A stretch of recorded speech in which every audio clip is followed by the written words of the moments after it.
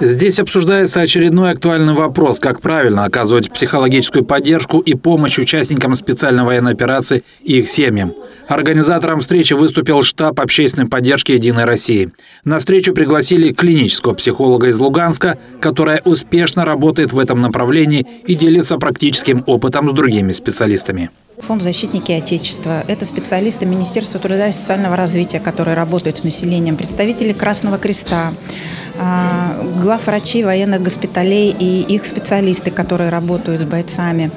А, это практикующие психологи, которые уже сегодня есть в Новосибирске, работают. К тому же по видеосвязи подключились общественные приемные партии из 30 регионов и городских округов Новосибирской области, а также социальные координаторы фонда «Защитники Отечества» и многие другие.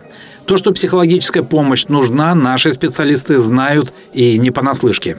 Очень многие члены семей, супруги, мамы обращаются за психологической помощью, потому что ну, многим тяжело пережить это в семье. А особенно члены семей погибших участников специальной военной операции – Э, зачастую психологическая помощь требуется и детям. Клинический психолог Анна Лисицына такие обучающие семинары проводит по всей стране. Ей есть о чем рассказать и чему научить, ведь с бойцами и их семьями она работает давно и плотно. Мы готовим сейчас семьи, какие ребята придут, какие будут отношения в семье, как необходимо выстраивать, как дать поддержку. Потому что первое место, куда вернется семья, э, бойцы, наши герои, да, это семья. И вот очень важно создать эту необходимую атмосферу, объяснить женам, там, например, элементарные вещи, что нужно не обижаться. Первое время необходима особая коммуникация, особые виды поддержки.